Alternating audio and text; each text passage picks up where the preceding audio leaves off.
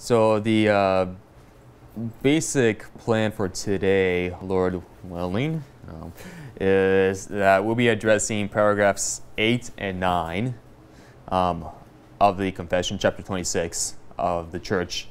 Um, but uh, before we do that, I just want to do an extremely ultra mega super duper brief review of everything we talked about so far. Say that one more time. I don't even remember what words I even used. Mega brief review of everything we've talked about. we'll see how it goes. Um, so up to this point, we kind of talked about um, several things regarding the church. We talked about the universal churches, um, church, uh, which is you know paragraphs one to three, and you know four talking about the Christ headship of the church, universal church, and that pretty much how all those who have been saved by God, the elect of God, are part of that universal church. And yet, at the same time, that universal church is not, um, you know, the, there's a phrase used, invisible church, which in one sense can be used, and yet the biblical teaching is that that invisible universal church does not stay invisible invisible, but God has fashioned it so that it comes forth apparent, it is visible, that the people those who have been truly saved of God profess the name of Christ, and they gather together as visible churches. and as Joel uh, did a pretty good job on uh, chapter, I mean paragraph four, about how Christ is the head of the church and all that entails, and how any system that tries to proclaim any other master, any other lord above the church such as the Antichrist. Uh, well, I mean,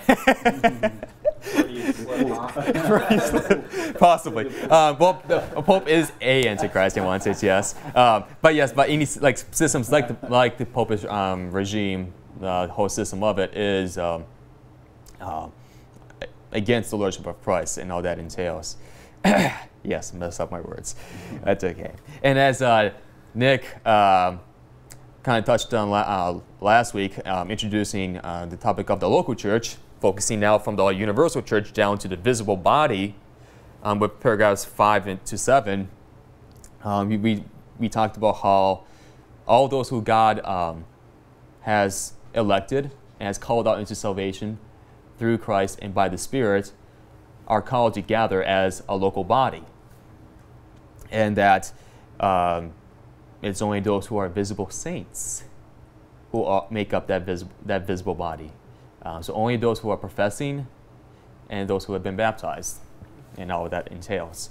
uh, contra other systems like the Presbyterian with system with their um, infant baptism um, and other perspectives that they have. Um, and from with that, there's the, also the idea, the fact that in paragraph seven, that the church, the local church, has all the authority that uh, God has supplied to it. Or, or to rephrase it in another way, um, all that the church needs, God has given to the local body, and that there is no other higher hierarchy besides the Lord Jesus Christ.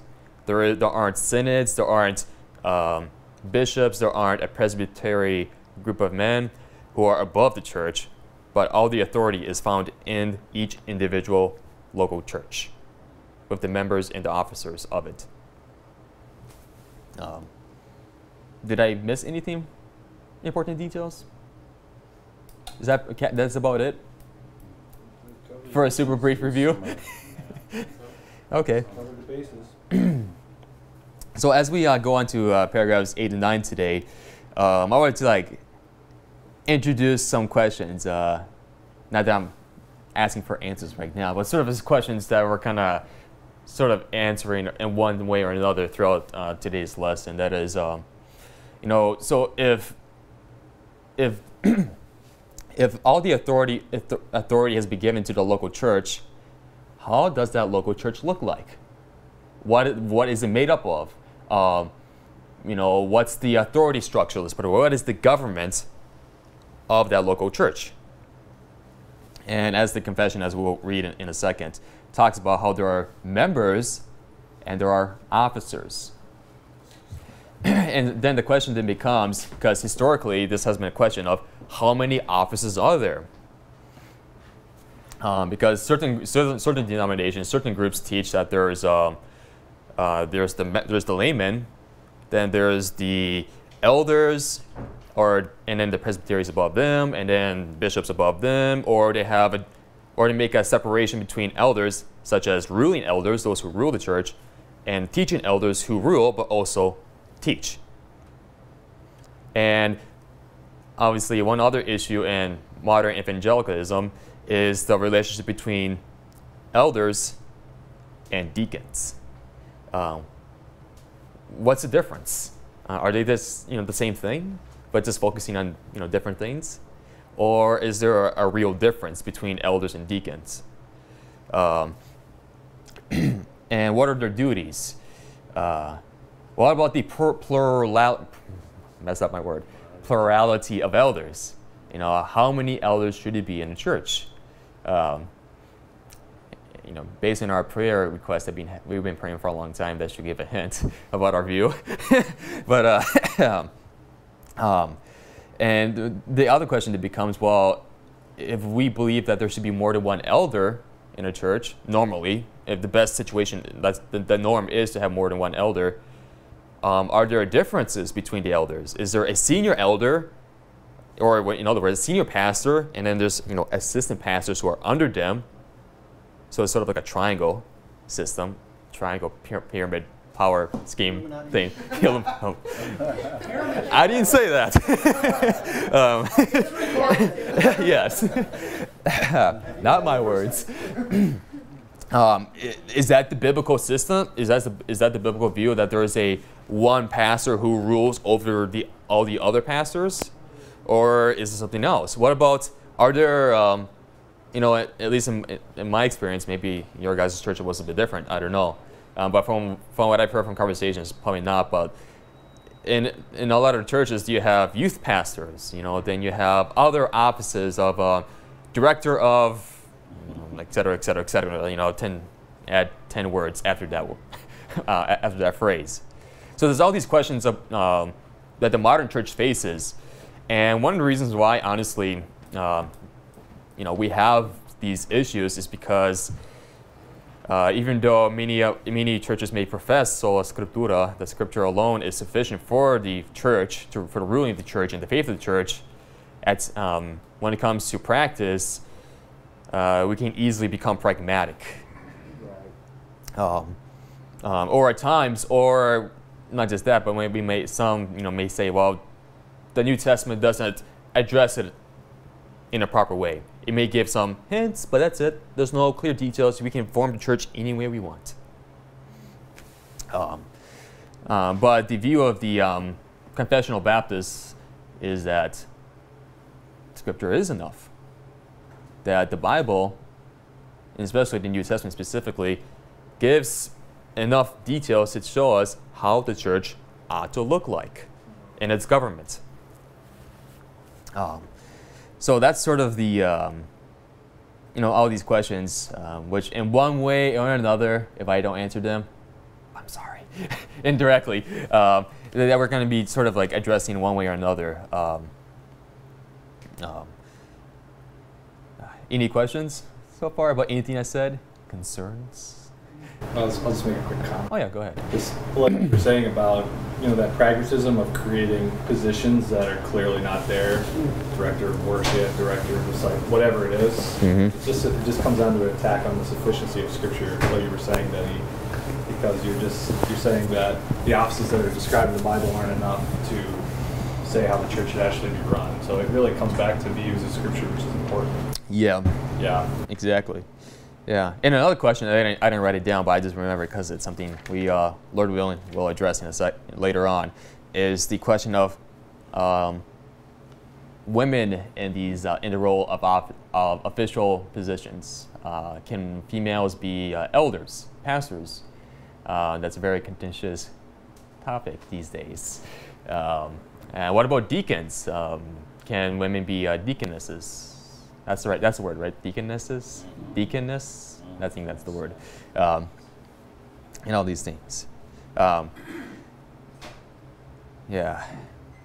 Well, with that um, set forth, like plain, like the playing field set before us, uh, let us go to the uh, confession then.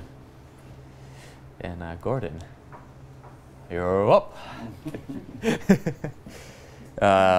Uh, you can read paragraph 8 of chapter 26. A particular church, gathered and completely organized according to the mind of Christ, consists of officers and members, and the officers appointed by Christ to be chosen and set apart by the church, so called and gathered, for the peculiar administration of ordinances and execution of power of, or duty, which he inst- entrusts them with or calls them to, to be continued to the end of the world, are bishops or elders and deacons. Mm-hmm.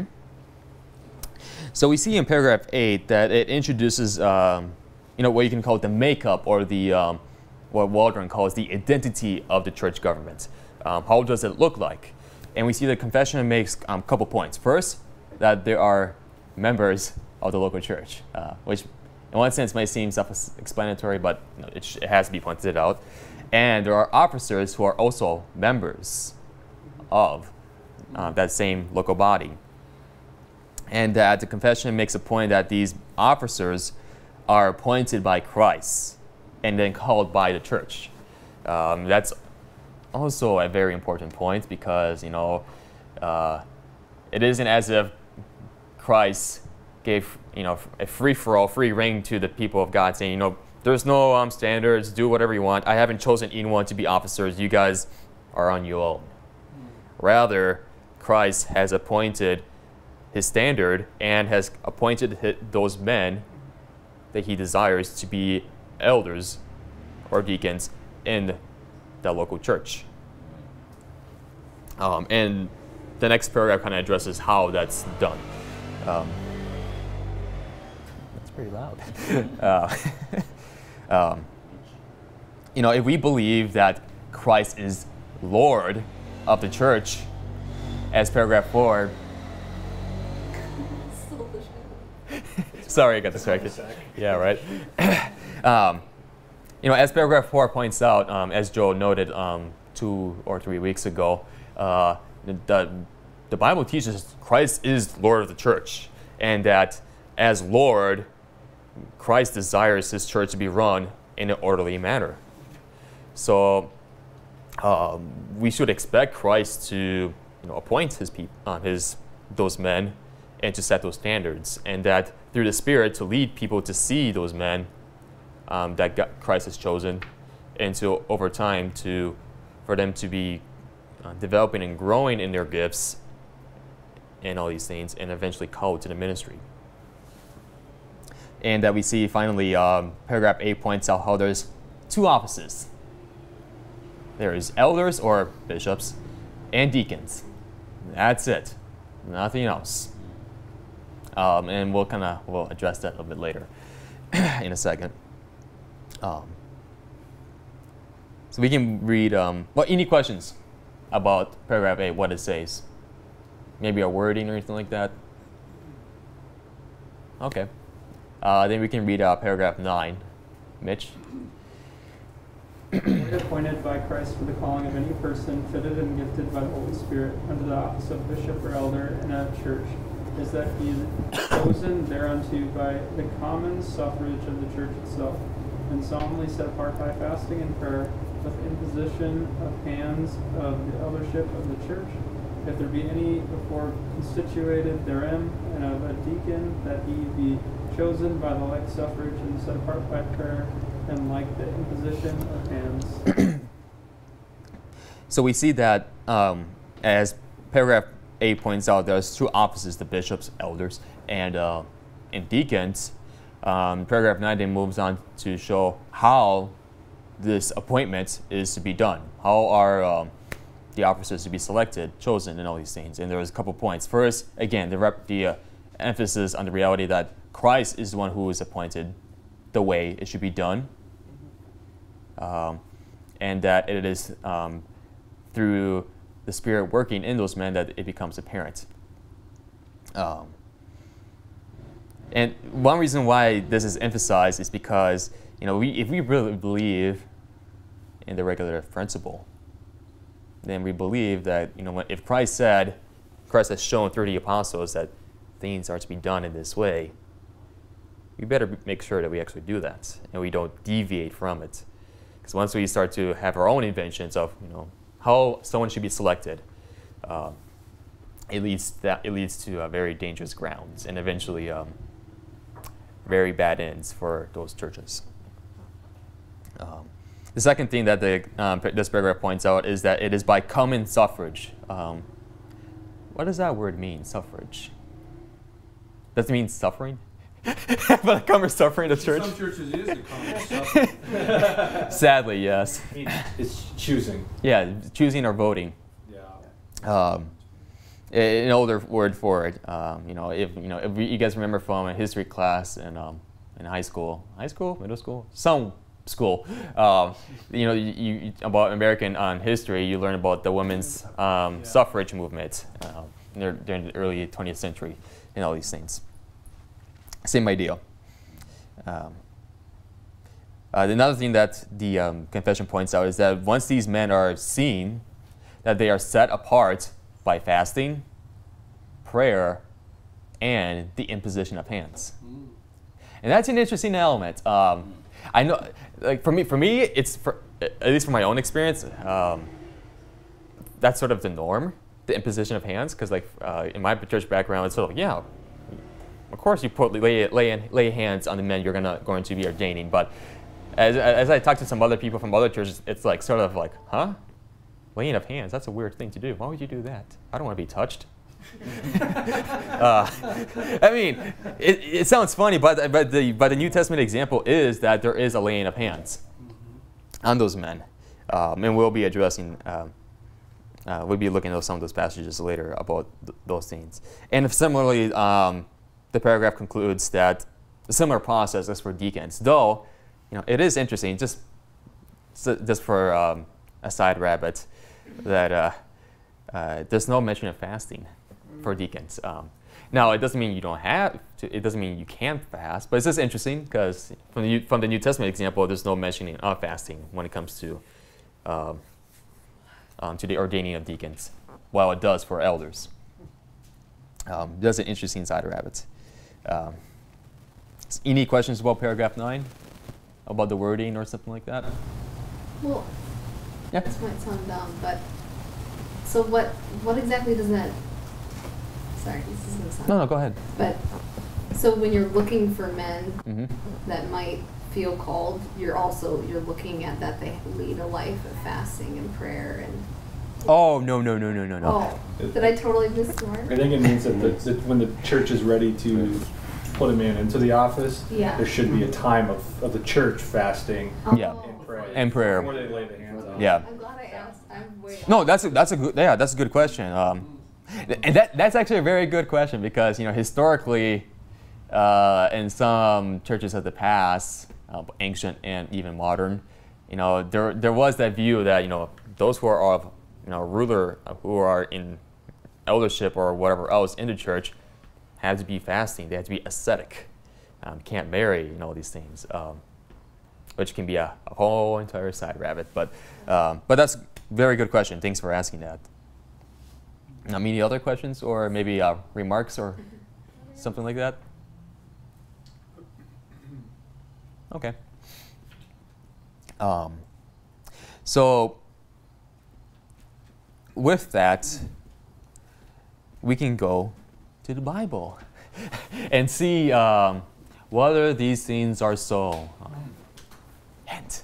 The answer is yes. But, uh, um, but we'll be looking at the biblical um, foundations and the biblical testimony regarding all, um, some of these points.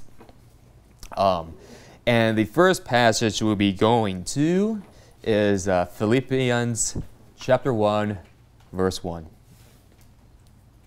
Philippians chapter 1, verse 1. Paul and Timothy, bondservants of Christ Jesus, to all the saints in Christ Jesus who are in Philippi including the overseers and deacons. hmm So we see here that when Paul gives the greeting to the church in Philippi, he speaks to the saints who are in Christ in that church, and then speaks about the overseers and deacons. We'll address that a bit later.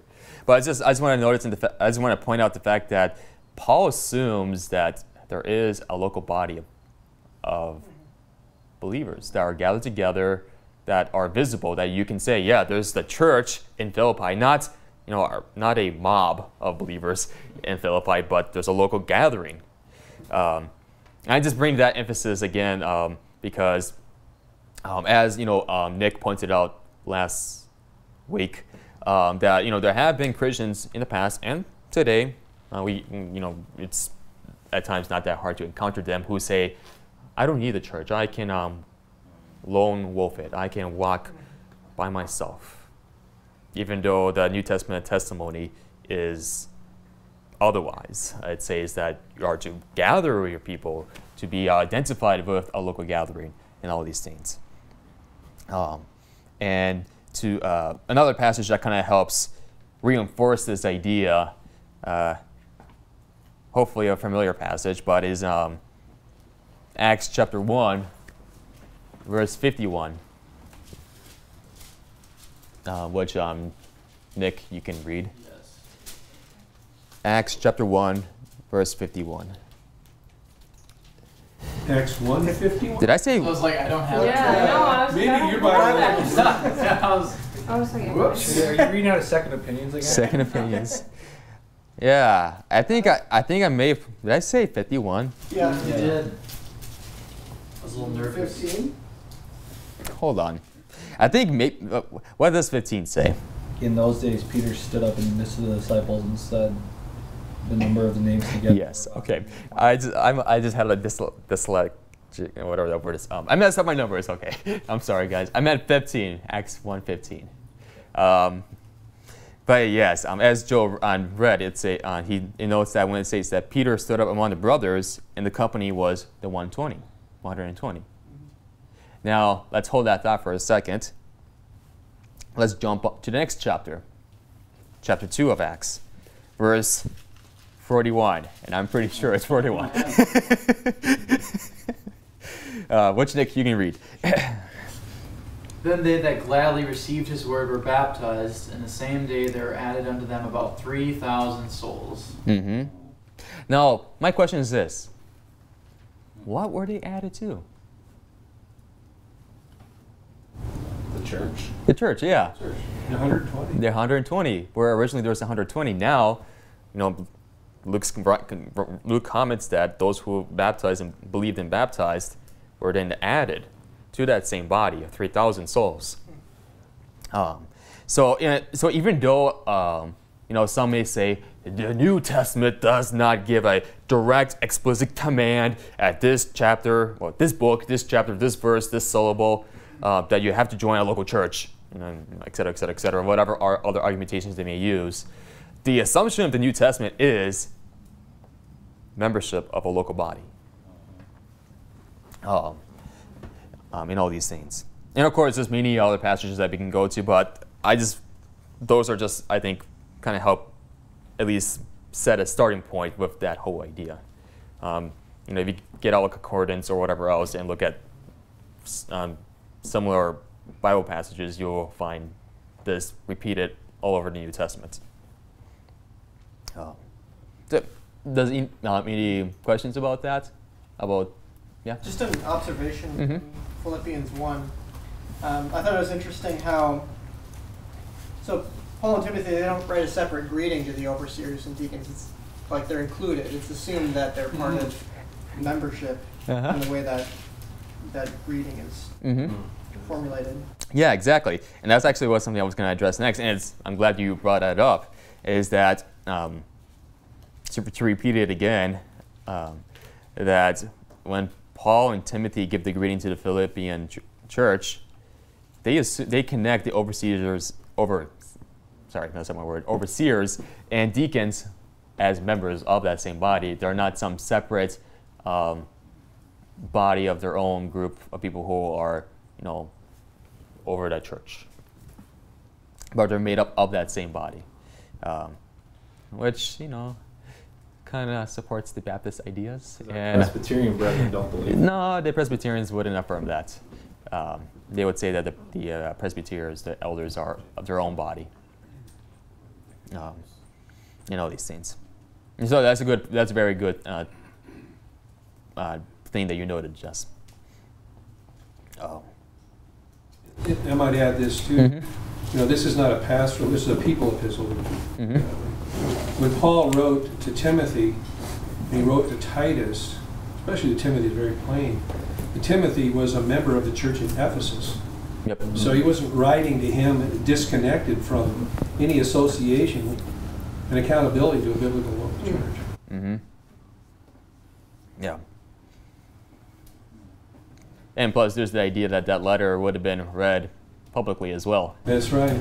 So, like, all that Paul wrote to Timothy would have, many of the things would be just as applicable to the rest of the church, including things, yes. the members and the elders of that church. Of that church. Yeah. Well, with that uh, uh, briefly um, addressed, we'll now finally uh, ask the question about elders. Um, you know, how many? Um, you know, as as we noted earlier with the confession, it says there's two offices: elders or bishops and deacons. And the question then becomes, okay, well, there are some today, even within Reformed Baptist circles, who say, well, there is a distinction between, um, for example, ruling elders and teaching elders. They will say that all teaching elders are ruling elders, but not all ruling elders are teaching elders. That there are two distinct offices.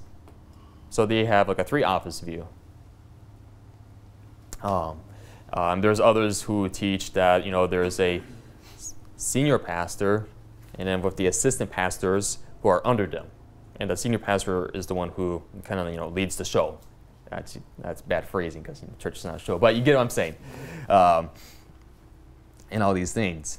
Um, I mean, one question you may ask is like, who cares? You know, three offices, four offices, five offices. Why make? Why not make it ten?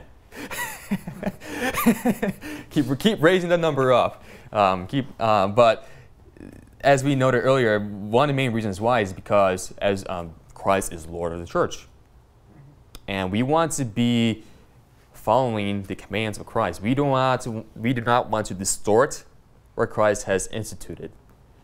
Um, you know, you know, if we, you know, you can ask, you can you can phrase it in this way. You know, if you think that we need a three office or ten office or etc. X number office, do you think that you know better than the Lord Jesus Christ? Is, is Jesus Christ, you know, is he not sufficient to show us what is necessary? Uh, what, what, how we need to run the church? Um, that's, you know, there's a lot of other things that could be asked.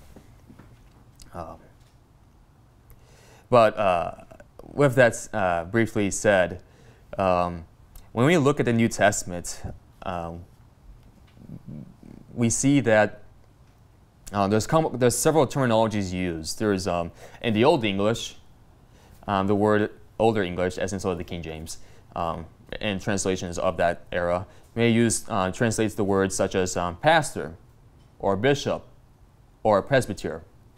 Um, um, in, in modern English translations, ESV, NASB, or whatever else, it might it will say shepherd. Shepherd. Did I say shepherd? Shepherd. Oh my goodness. Uh, shepherds or overseers and elders. Um, and these aren't, uh, you know, some people, um, you know, have at times confused this as saying, believing that there are six offices. Um, it, it may seem strange, but they have sometimes because just because you know you know we can we just so broadly use these terminologies. At times we don't really think about what we're saying. Um, that at times for some people it has it can be confusing, like overseer, bishop, pastor, shepherd, overseer. I already said that. um, elder, uh, like what? What's what? I don't understand. Is it three? Is, is it three different offices? Are they all the same thing? Um, what's going on? Um, but when, when we look at the New Testament words, as in like the Greek. Um, the word for pastor and shepherds is, uh, I'm going to butcher the Greek, so forgive me, anyone who, who here speaks Greek. Um, Joe, you speak Greek, right? Not really. No? Have at it, brother. oh boy. Thankfully, I'm not being graded for this, right? no. Uh, so the word, uh, so the word for pastor uh, or shepherd is the word um, poimen, and for bishop and overseer is episkopos or episkopos, and presbyteros is well, kind of easy to tell, presbyter or in modern English, elders. And um, so so, so, so for simplicity's sake, you want to put it in this way, there are three descriptions of this office. First is pastor, which equals sign shepherd. Second is a bishop, which is equal sign overseer. And the last description is a presbyter, which equals sign an elder. Oh. Does that make sense? Did I make it confusing? Did I just make a mess of everything? Any questions about what I said? I guess just what is the distinction between like an overseer and uh, a pastor? Is there any difference or no? That's a good question. Um, there, there are that that is one of the questions. One of the questions becomes is um, okay. There's these descriptions, but is there an actual distinction uh, between a pastor, for example, and an overseer, or um, and all these things? And what we're going to try to um, do over the next several passages, hopefully, is to show that all these three descriptions are talking about the same office. Um, so to put it in practical terms, Pastor Nutter is, well, our pastor. I just say that. I just said that. He's also our overseer, and he's also our elder.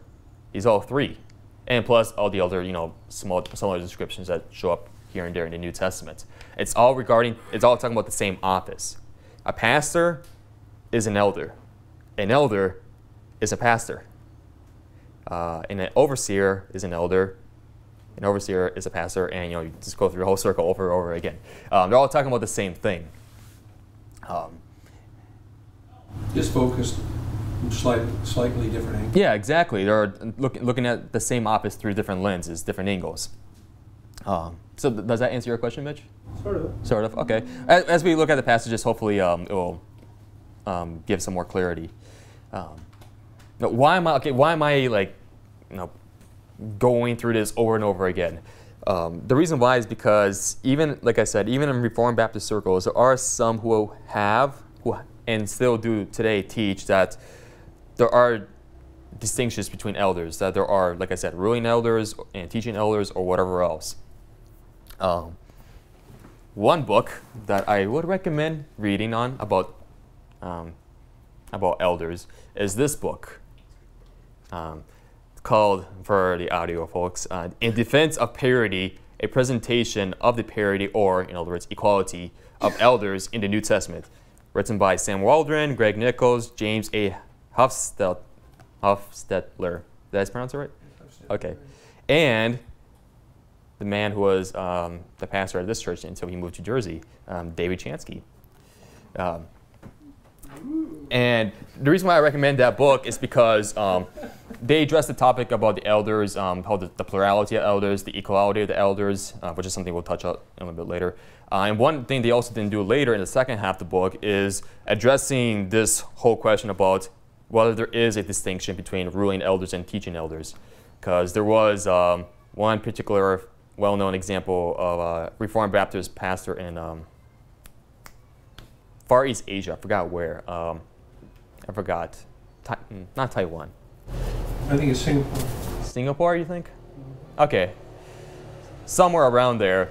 And he was writing books um, in opposition to what Sam Waldron and some other men teaching that there is a distinction, that there are some um, elders who are of a higher elevation of power than others. Or there's some who are simply just rulers, but there are others who rule and teach in all these things. Um, so it's important to understand what is an elder, what you know, what, how to understand all these descriptions of the New Testament. Um, hopefully, my uh, constant repetition of this whole thing makes it clear that it is an important question. Um, anything? Um, any questions about anything I just said?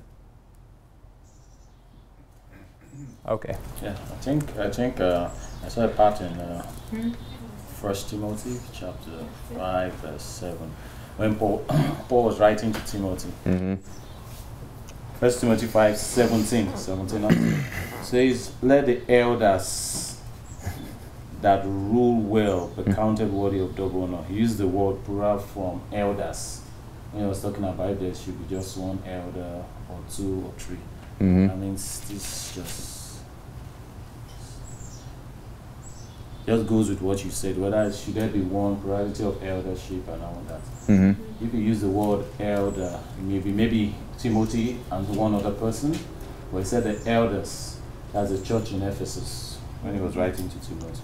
Mm-hmm. Uh, that's what I just want. Especially they who labor in the word, who labor in the word and in doctrine, or the elders should labor. I just want to stress that. Can I one question? Yeah, go ahead. So if you're not the teaching elder, then what are your primary? Uh, You mean like from their view? no, I mean like like in our church, if we ha- if we had another elder, Mm-hmm. what would his primary I don't know job be if he's not the one who's Well, well, the the confession's uh, position is that all elders are ruling te- ruling elders and teaching elders. I didn't know that. Yeah. Okay. Am I correct to assume that, Pastor? Miller? Yes. Okay. you, could, you could almost you could almost word it this way. You could say we're not re- just looking for a second elder. We're looking for a second pastor. yeah. It would be Yeah. the same and equal. As A second pastor, teacher, a second pastor, overseer, etc. Yeah. mother. Right. Right. Because when you look at, um, I hope I'm not stealing. Oh no, go ahead. Yeah, because you look at First Timothy 3 Mhm. all elders or pastors, they all have to be able to teach. So they all need to be. So whoever, if for our church, for example, they have to meet all of the requirements of First Timothy three and Titus one, and they have to be able to fulfill the same, the same things that Pastor Nutter does. Mm-hmm. Yeah. Yep. That Yeah. doesn't mean that every elder will necessarily be preaching regularly. Yeah, and that's something I was gonna address a bit later. But yeah, that's uh Well, I won't- no, no, no. It's no, it's okay. No, no. No, it's okay. um, so uh, we can go if we go back to Philippians one one. If you have, if you're already, if you left from it, uh, we see that again, focusing on the second part of that verse. Paul notes that there is overseers and deacons. Paul assumes two offices. He doesn't say overseers and pastors and deacons. He simply says overseers and deacons. Or pastors, or overseers and deacons and trustees. Yeah, or trustees. Yes. hmm and that whole thing. So we see that Paul assumes a two office position. Um, now, someone may say, well, is that it? No, there's many other passages that help us uh, see this um, clearly. Um, the next passage that we, we can look at, um, we're not going to address every single thing that's said in this passage, but we'll look at some, pick out some key details, and that is 1 Timothy 3, which Joe alluded to, uh, What verses? 1 to 13. This saying is trustworthy. If anyone aspires to be an overseer, he desires noble work.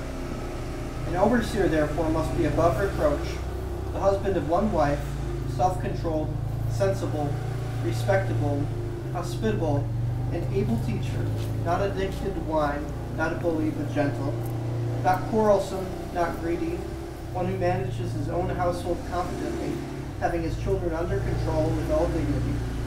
If anyone does not know how to manage his own household, how will he take care of God's church? He must not be a new convert, or he might become conceited and fall into the condemnation of the devil. Furthermore, he must have a good reputation among outsiders, so that he does not fall into disgrace and into the devil's trap. Deacons, likewise, should be worthy of respect, not hypocritical, not drinking a lot of wine, not greedy for money, holding the mystery of the faith with clear conscience. And they must also be tested first. If they prove blameless, then they can serve as deacons. Wives too must be worthy of respect, not slanderers, self controlled, faithful in everything. Deacons must be husbands of one wife, managing their children and their households competently. For those who have served well as deacons acquire a good standing for themselves and great boldness in the faith that is in Christ Jesus. Mm-hmm. so when we look at this passage, we see again that Paul assumes a two office position. Verses 1 to 7 is all about the qualifications of the overseers. And verses 8 to 13 is talking about deacons. Oh. And we see when we're focusing on verses 1 to 7, we see um, a couple things. Paul talks about the about these this office, the men of this office, that they are first overseers. That's the term that he uses. They are able to teach, and they must be able to manage and lead. Um, so overseers, able to teach, and able to manage slash lead. So keep that in mind. Next passage is in Acts chapter 20, verses 17 and then verse 28. Now from Miletus he sent to Ephesus and called the elders of the church to come to him. And And 28.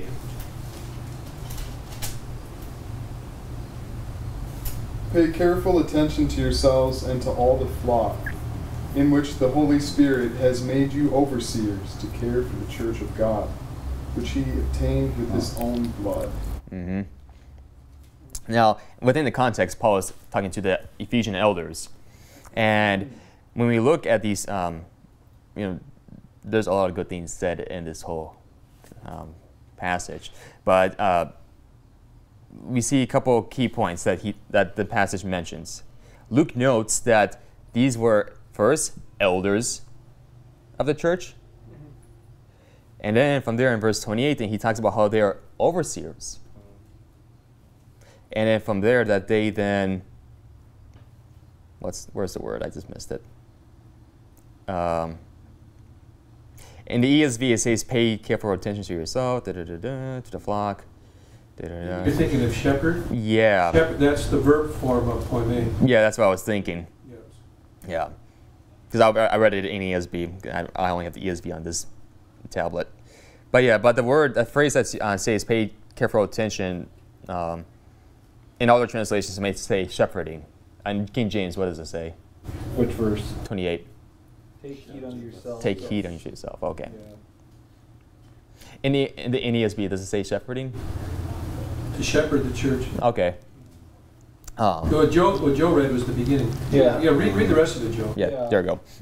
Uh, to, your, to all the flock over which the Holy Ghost has made you overseers to feed the church of God. Yeah, Feed. there's, Yeah. it's translated feed. Yeah. Okay. Yeah. Um, a- and, as Pastor noted, uh, the, the verb form that's used there is the verb form of the of shepherding. Yeah, sorry, my, mind my mind just blinked right there. So we see within uh, this passage, uh, there's elders, and the same, the same group of people are then called overseers, and they are called to shepherd the flock. And remember in the first Timothy 3 passage, this group of people are called overseers. They're able to teach, and they're supposed to be able to manage and lead. Um, so we see this cross pollination. There are the various terminologies talking about the same office. The same group of people are called elders, the same group of people are called overseers, and the same group of people are called to shepherd the flock, which means those elders are pastors. Uh, and um, they are called to able to teach and able to manage and lead. Um, and to help continue to reinforce this, uh, for Timothy, ah, did I say Timothy? I meant Titus, chapter 1, verses 5 to 9. For this cause left I thee in Crete, that thou shouldest set in order the things that are wanting, and ordain elders in every city, as I had appointed thee. If any be blameless, the husband of one wife, having faithful children, not accused of riot or unruly. For a bishop must be blameless as the steward of God, not self willed, not soon angry, not given to wine, no striker, not given to filthy lucre, but a lover of hospitality, a lover of good men, sober, just, holy, temperate, holding fast the faithful word as he has been taught, that he may be able by sound doctrine both to exhort and to convince the gainsayers. hmm And we see that uh, within this passage, which again, a lot could be pulled out, uh, there's a couple key characteristics. Paul talks about how he left Titus um, there to appoint, ordain elders, who are then called overseers. And then with that, they're, they're supposed to be able to instruct or able to teach.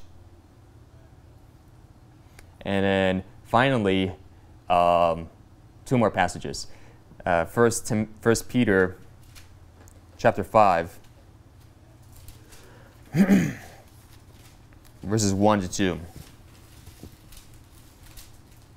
So I exhort the elders among you as a fellow elder and a witness of the sufferings of Christ, as well as a partaker in the glory that is going to be revealed. Shepherd the flock of God that is among you, exercising oversight, not under compulsion, but willingly, as God would have you, not for shameful gain, but eagerly. Mm-hmm. So we see that Peter exhorts the who? The elders to shepherd the flock. And finally, the last passage. Just one more thing. Oh, yes. Exercising oversight, there's, there's the verb form of overseer. Yes, that's a good All catch. three are- Yes, they're all three. Yes. Good point. I, I didn't read that. I missed that completely, honestly. um, and finally, um, this last passage of Ephesus. Did I say, oh my. Ephesians? Ephesians chapter 4, um, verse 11. Oh boy, this is not my day. Ephesians chapter 4, verse 11. And he gave the apostles, the prophets, the evangelists, and the shepherds and teachers. Hmm Now, the reason why we're going to this passage last is because with all these, with, the, with all the other passages that we read, we see that there is a cross pollination, that there is a connection between overseers, elders, and pastoring. They're, they're all talking about the same group of men, the same office. That the same men are overseers, being able to do oversight. They're supposed to be able to lead the church, manage the church. They're supposed to be able to um, shepherd, lead the flock, feed the flock, and all these things. And yet, some people would go to this passage and say there's a distinction between pastors and teachers. This is, this is where you have pastoral elders and ruling elders. Because Paul here says pastors and teachers. So they're not two different offices, obviously. There's a catch. um, let me uh, let when we look at the passage. Um, I know I didn't look at all the English translations, but I did look at the Russian translation, and it follows a similar pattern. So, uh, and other translations um, that I did look at, like the King James, um, ESV, the Douay-Rheims even, um, uh, NASB, and a couple other ones, and they all, seem, at least from what I remember, follow the same pattern. Um, when we look at verse 11, notice what Paul says. He says, the apostles, right? Does your translation say that? The apostles? It doesn't have the? Yeah. It doesn't? What, what, what, what are you, what translation? It, he gave some apostles some apostles. Okay. and some, etc. Okay. So it would say some, right then, right? Yeah. Okay. And then, but then it says some prophets then, right? Yep. Then some evangelists, right? Uh-huh. Does it then say some pastors and some teachers? Or some pastors and teachers? Pastors and teachers. And teachers. There's no there's no article, there's no distinguishing distinguishing thing of teachers. Teachers is connected with the pastors. Um, the way that um, Waldron uses a big fancy phrase. I don't remember it, but he just talks about how um, another way you can translate this is he gave the pastor teachers. The, it's talking about the same office, but dis- distinguishing the two aspects of the office. That the same office of elders are supposed to be able to pastor the flock and to teach the flock. Um, um, when you look in the Greek, there's no kai. Um, did I say kai? There's no. Um, You did, that's the word Yeah. for and. Even the Jewish Bible to says the same. Jewish Bible. Says furthermore, he gave some people as emissaries, some as prophets, some as proclaim- proclaimers of good news, some as shepherds and teachers. hmm Yes. What I meant to say, there is a kai, but what I meant, Yes. What? yeah, I was just gonna say, and when you look at the Greek, um, yeah, it's never ending. Um, before each description, so apostles, teach, um, prophets, and etc., there's the word um, tous, which is the article for each of those words. And Paul only uses the word tous or the for pastors, and he just says and teachers. So teachers is not distinguished from pastors; they're connected grammatically in that way. so then, what can we say in, conclu- in conclusion of all these passages? Um, the short conclusion is that all pastors or all shepherds are overseers, all overseers are elders, and all elders are shepherds. They're all talking about the same office from different perspectives and different um, um, lenses of their role within the church and what they're supposed to do. So there is no uh, such thing, biblically at least, um, of a distinguished, distinguished uh, of a um, of a distinction of ruling elders and teaching elders because as Joe noted like 10, 100 years ago after, after, me, after all my talking, uh, that Paul in 1 Timothy 3 talks about how all these, um, in order to be an elder, you had to fit, fit all, the, all these um, qualifications. And part of that is teaching. So if you're, you know, within that, if you're a ruling elder but you're not able to teach, that's You're a deacon. Uh,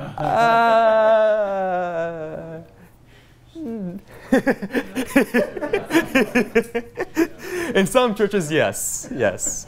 Yeah.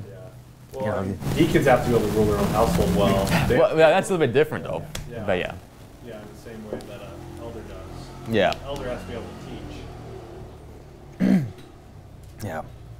So, does that make sense then? About um, I realize like I repeated a lot of a lot, some of the stuff a couple times, but it does it at least make sense that how elders, shepherds, and overseers is somewhat talking about the same office? Any questions or uh, maybe um, some comments or something like that?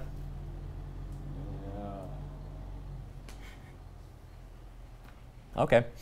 Um, now, there, there is a passage in uh, 1 Timothy 5 17 18 that has been used by um, some. We're not going to address it right now. Um, it's something we'll, kind of, well, I think we'll address um, next lesson um, because there's some details there that I'm going to be, pull, be pulling out at the same time. So we're going to save that for later. Um, what's the time? Okay, let's speed it up.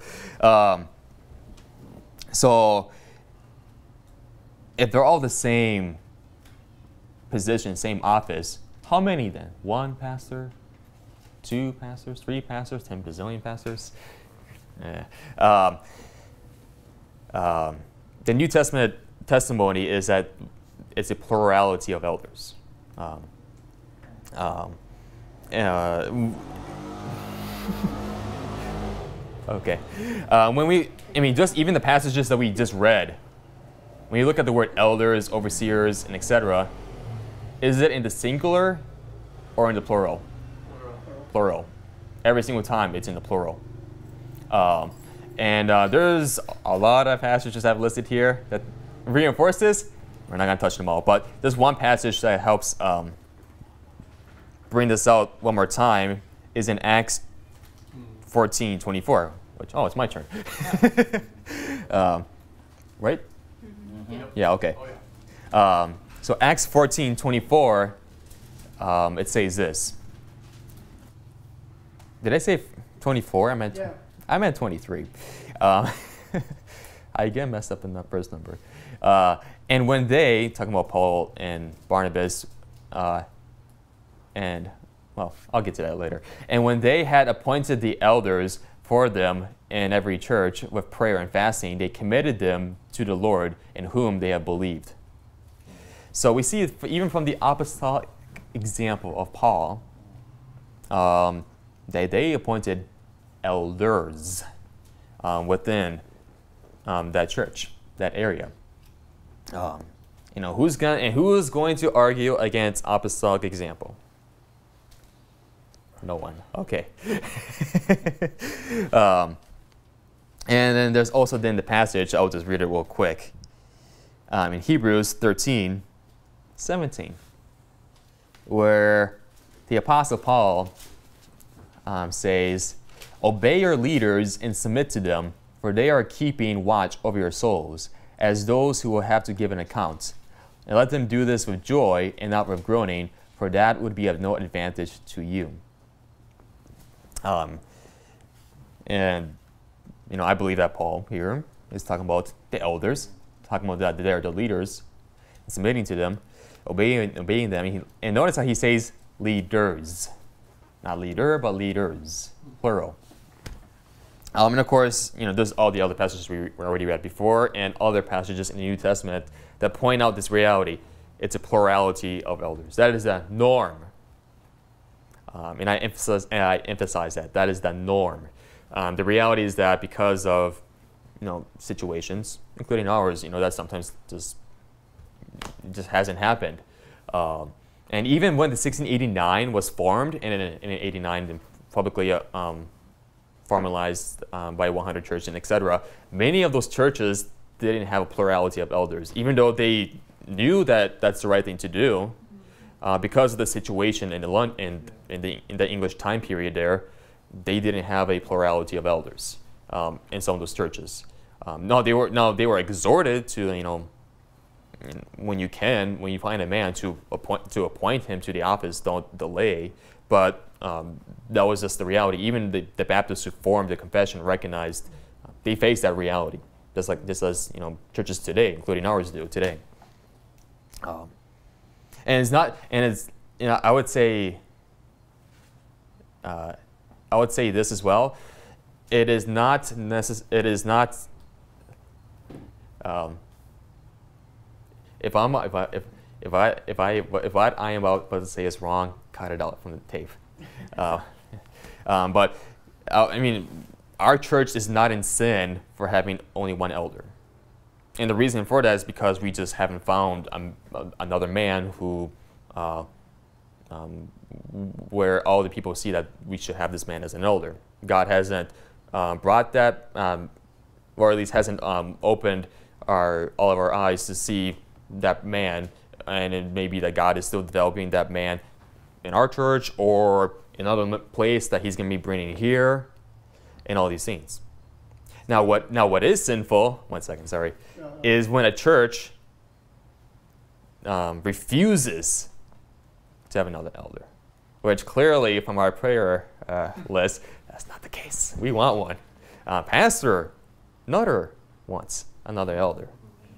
So like, it is our desire. We're not in sin because we only have only have one elder. I want to emphasize that because that that's a, that is a question that can come up. Like, are we in sin then? I've had a lot of Presbyterians ask. in all these things.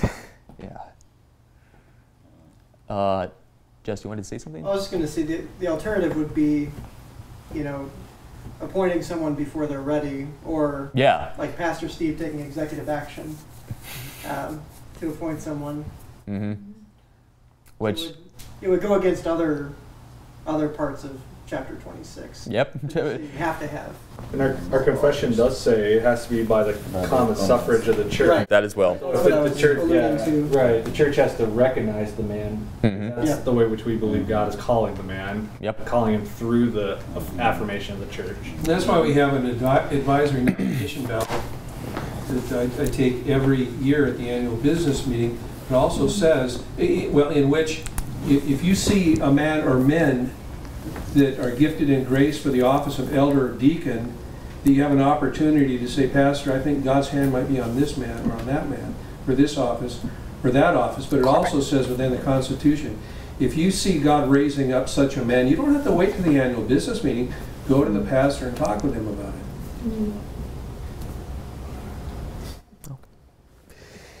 it. Mm. Yeah. Now, uh, we're not going to touch all the details of what exactly a shepherd, overseer, and elder does. We're going to be touching that next lesson in paragraphs 10 and, um, and all of these things. I just, wanted to, I just wanted to focus more on the reality that these, these are all the same office. Sort of emphasis on that. Now, we will be returning to, the, returning to these passages next week. Um, um, um, there's something else I wanted to say about the plurality of elders. I'm trying to remember. If I remember, I'll just say it later. Then, then I'm not gonna wander around. Um, so, anyone have any um, else to say, or maybe questions, or? Well, I guess one thing we could point out with plurality, Mhm. it doesn't mean that every elder has to be fully supported. Oh, yes. And then, then might, maybe you want to comment on that, Denny. Oh, that, that's I was gonna address it in paragraph 10, but uh, because Yeah. that's brought up there. Right. But uh, but yes, it doesn't mean that um, every every elder has to be um, fully um, financially supported um, by the church. Um, having a bivocational, or in other words, a man who is an elder but also doing work, what you can call secular work, um, is perfectly fine. It's not a sin. Um, and I mean, and, and you know, the reality is that um, you know, there's you know churches where they can't fully support the pastor uh, because they're in a poor area everything else, and they just they can do as much as they can to try to support the man. You know, maybe some money here and there, but the man just has to be able to work um, on the side as well.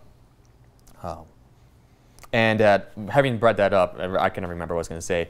Uh, when we talk about the plurality of elders, as um, Pastor Nutter also touched on earlier, that it does not mean that every single elder um, preaches um, in the, the same amount, teaches the same amount in all these things.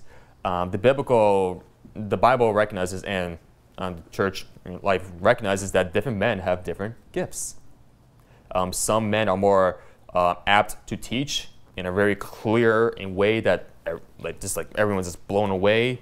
Um, some men have a gift of preaching. Their voice is um, their whole um, rhetoric, just the, the whole preaching. Uh, they are so full of spirit and life uh, in a way that you know some, someone else may not have to the same degree. Uh, to put it to put another to put another way, a Charles Spurgeon only comes once in a um, I was gonna say a million years, uh, but uh, but it, only comes one. Only not. It's a rare thing for uh, a Spurgeon to come around, um, and when when you think about it, um, how many Charles Spurgeons have there been in history? One, right? How many uh, Augustines have there been in history? Augustine of Hippo. Not the order. yeah. uh, only one, right? How many Luthers have there been? Martin Luther, Oh. one. Uh, I- yes. Uh, how many John Calvins have there been? One. Um, but yet, when we think about it, there have been thousands and thousands of many other elders, um, teachers, and pastors, and etc. All the other terminologies, um, who have you know done their work in the church. We don't know anything about them. You know, they're lost to quote unquote lost to history. God knows them, even though we may not know them by name. Um, and yet, God used them to continue the church. Um, you know, it isn't. It isn't. To put it in different. To put it in another way, it isn't just the John Calvins who helped lead the church. It is all the men who saw the same theology and agreed, and continued the same work, even though we may not not know a single detail about them. It's been lost to history. God used them in their degree, even though their fame is small, even though they may not have the same um, rhetorical skills or anything like that. Yet God used them all. So only because there's a difference uh, in degrees of um, certain gifts doesn't mean one elder um, is somehow lower in status than another. They're all um, equal, parity. They have the same authority, even though they may have a diversity of gifts. which they may uh, then focus on some area more than another elder. Uh, do you want to add something to that, uh, Pastor, or? Um, no, that, that's well said. Okay, I'm just making sure. God gives different uh, gifts and opportunities. And, Yeah. uh, but I would say this regarding apt to teach: a man has to have a modicum of ability Mm-hmm. to communicate unto edification divine truth to hearers. Sometimes that might more take the shape of counseling across, you know, a desk rather than preaching from the pulpit. Mm-hmm. But I would say that he has to have some ability from the pulpit to communicate divine truth to the benefit of God's people. Mm-hmm. And would you say that every um, elder should be able to preach as well? Every elder should be able to preach. Mm-hmm. Yeah, wi- yeah, wi- but I would say with at least a modicum of ability Yeah. to, to bless his hearers. Mm-hmm. Was, was that why Paul was telling Timothy, say, let the elders that rule well be counted worthy of double honor, especially they who labor in the word and doctrine. Yeah, he's, he's saying that these men have particular ability ab- above the ones that they have parity with to communicate unto edification the truth of God. Mm-hmm. And it's evident. Yep. They're, they're equal in their authority, but they're not equal in their gifts. Mm-hmm. Yeah. Which, again, plug in. In Defense of Parity. Uh, good book that addresses this whole subject as well. Um, well, with that said, we'll quickly address deacons. Um, um, so, as we, uh, well, hmm, hmm, hmm, hmm. there's a lot that could be said. Uh, I just need to make sure I don't um, go way over time. um, when we go back to 1 Timothy 3, verses 8 to 13, we see that there's several qualifications given. Um, hmm, should I just go over the qualifications right now, or I'll get to that in a second. And that um, one of the questions becomes is what is the role? You know, okay, well, what's the difference between a deacon and an elder? You know, is it is a deacon just simply um, an elder who doesn't teach, but still rules? Um, as it is in, has been practiced in some churches, or is a deacon something else? Is um, that's an important question. And the one one passage that really helps give clarity to um, this whole subject um, is Acts chapter six. Yeah, sorry, I know, I know, I made you guys go to 1 Timothy three. I'm sorry. Uh, we'll go to Acts six first verses 1 to 7. And in those days, when the number of the disciples was multiplied, there arose a murmuring of the Grecians against the Hebrews, because their widows were neglected in the daily ministration. Then the twelve called the multitude of the disciples unto them, and said, It is not reason that we should leave the word of God and serve tables. Wherefore, brethren, look ye out among you seven men of honest report, full of the Holy Ghost and wisdom, whom we may appoint over this business. But we will give ourselves continually to prayer and to the ministry of the word. And the same pleased the whole multitude, and they chose Stephen, a man full of faith and of the Holy Ghost, and Philip, and Prochorus, and Nicanor, and Timon, and Parmenas and Nicholas, the proselyte of Antioch, whom they set before the apostles. When they had prayed, they laid their hands on them.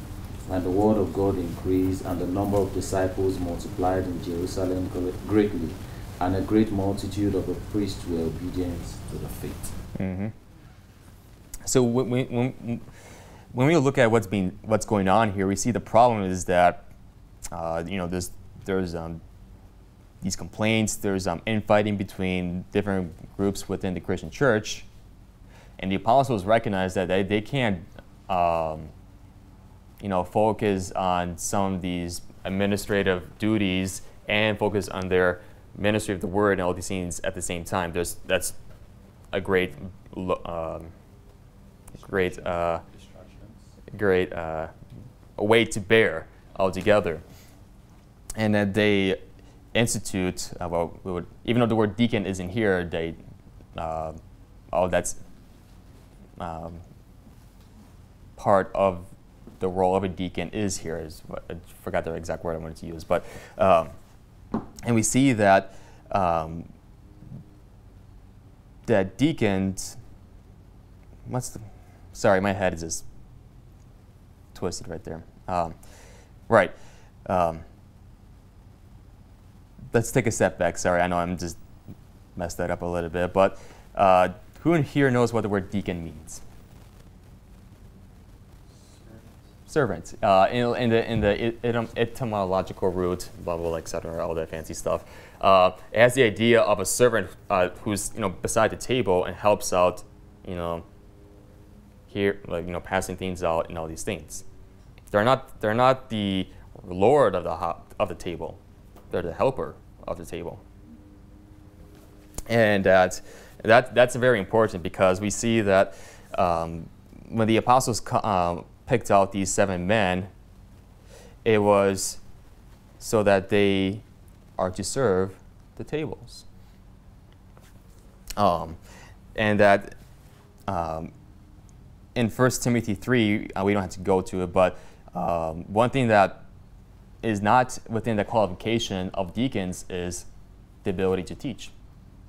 Whereas for elders, they're called, they're said you have to be able to teach. That's not one of the qualifications for a deacon. Um, because the role of the deacon is not to be an elder, it is to serve in the church in a special manner um, where it, it is needed. Um, and that can be through, um, you know, if there is a outwork ministry of some kind that the church can appoint deacons to able to work in those ministries so that um, the pastors who can still participate in those things can still then focus on their uh, ministry of the word in all these things. It's important that we see that serving tables is not beneath their dignity. dignity. Mm-hmm. It's just not part of their job description. In, in fact, serving tables, the, the word for serve there, we also find it down in verse 4 but we, the, the, the elders of the church, the apostles at this point, will devote ourselves to prayer and to the ministry of the word. It could also be translated service of the word. Our service is in this area, mm-hmm. their service is in that area. Mm-hmm. Yeah. And that's very important because, you know, it, again, and to use personal experience, which you have to be careful with, but I mean, when I talk to other people, you know, it, it has someone, I think it was Jess who joked about it, or, uh, you know, uh, oftentimes, and sadly in, in modern evangelicalism, um, deacons have the power of rule. Of um, there's a board of trustees of um, deacons who can vote and outvote the elders. Hmm. you know, if the elders want to change something in the Constitution or change something within the church, the deacons can outvote them um, within their own board. Um, which biblically, deacons don't have that. There's no, there's no board of deacons or anything like that. As in like a, their own separate organization that has um, power over the church. Now, in one sense, this is where it kind of gets very nuanced. In one sense, deacons do have authority because it is given to them by the elders in the church, but it is a limited authority. It's not an authority of rule, but authority of service, service, serviceship. That's not the right word, but um, in these things.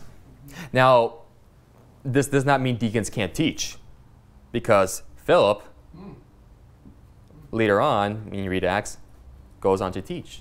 Stephen went on to teach. So it doesn't mean deacons can't teach, but their teaching ability is not because of their deacons, but it is um, their uh, um, role of teaching is outside of their role of, of being a deacon. And that must be distinguished. So, you know, Huchi, he can preach, he can teach, which he has been doing, which is good and biblical. It's perfectly fine. And all these things. Um, so, um, there's more that could be said, uh, but for the sake of time, I'll ask. Does that make sense in the distinguishing differences between deacons and elders? A lot more could be said, but at least that. The elders are the one are you know the leaders, the rulers, the overseers, and etc. But deacons, well, they do service in the in the church, and that's not that's not you know somehow a lower status. You know, serving the church is a great blessing. Much there's much hardship, but it's a great blessing. Um, but only because they don't have the ability to rule like elders do, doesn't mean they're somehow lesser now. No. No, Jesus said, I came not to be served, but to serve. Mm-hmm. And they're following their master in that regard. Yeah. um, does anyone have any questions or um, anything like that? Okay. I have one question because we already are 20 minutes over over time.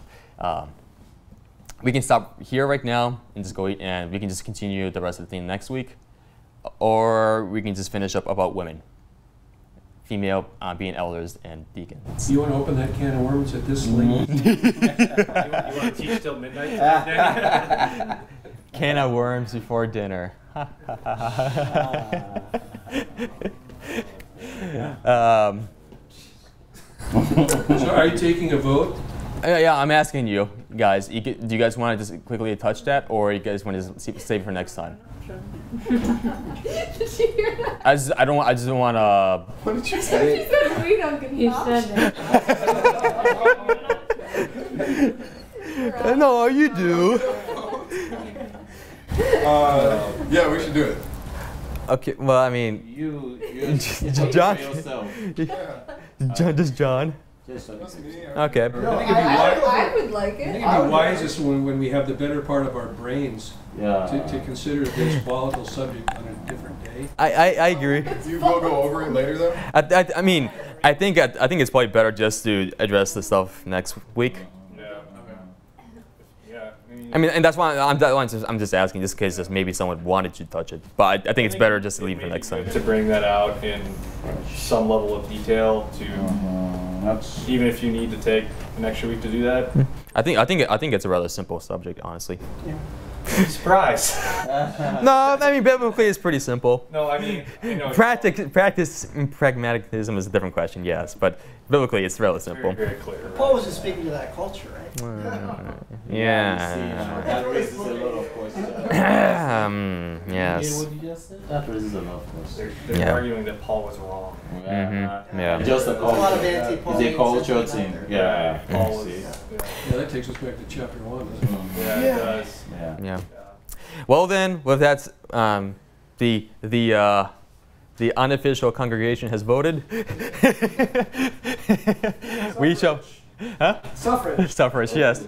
By common suffrage, we shall we shall uh, continue th- this next weeketh. weeketh. Um, so then, um, next week, then we'll just talk about the subject of women being being elders or deacons, or the lack thereof. Um, and then from there, um, the qualifications of elders and deacons, and then their ministry, um, their purpose, their role in the church. Which, we, in one sense, we already did touch, but just more some specifics. Um, so that'll be that. Um, before we pray, I, I know I already asked, but anyone have any questions, concerns, or maybe a thought like, huh, I never knew that, or maybe um, something like that. Or maybe like a question that I didn't answer, but it's in your head that I should probably go into next week. Besides the question about females, pastors, and stuff like that. I think I'd be re- prepared to answer the arguments of the egalitarians. Okay.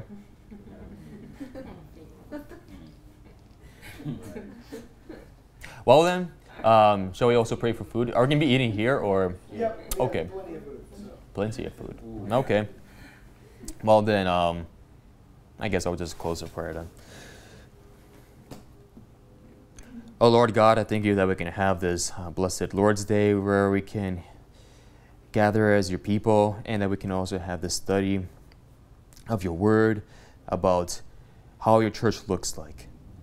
And Lord, we live in an age just like many uh, of the other years throughout the church of the church history, where there is uh, much distortion of what it means to be an elder, what it means to be a deacon, and all these things. There's much confusion at times, and Lord, And even some of us here come from backgrounds where these confusions existed.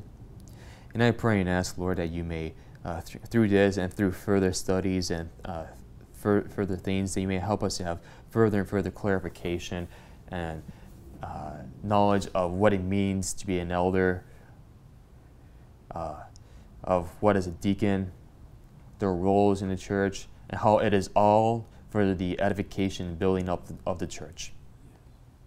And that uh, we may obey your word, Lord, that we may not distort it, that we may not go beyond what you, what you have said and laid out in your word. And that you may help us to even examine our own church, our own selves, that um, if there is an area of pragmatism, an area where maybe we could be, uh, use correction, whatever it could, whatever it is, Lord, if there is something, that you may help us to see it in due time, and, th- and that by common suffrage to be able to uh, deal with these issues. And I ask and pray they may bless the food, they may be a nourishment to our bodies, just as the preaching has been a nourishment to our souls. And we ask and pray in the name of your Son, Christ Jesus. Amen. Amen.